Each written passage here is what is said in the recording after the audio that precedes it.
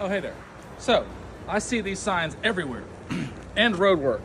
It's not working. There's still so much road work. Like my entire life, I've seen these signs, end road work. And I'm like, please, let's end road work. It's a real hassle.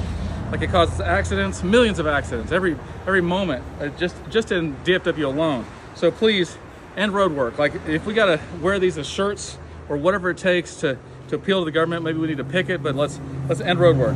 And not just road work, but here's what I want to do, okay? I'm okay with work.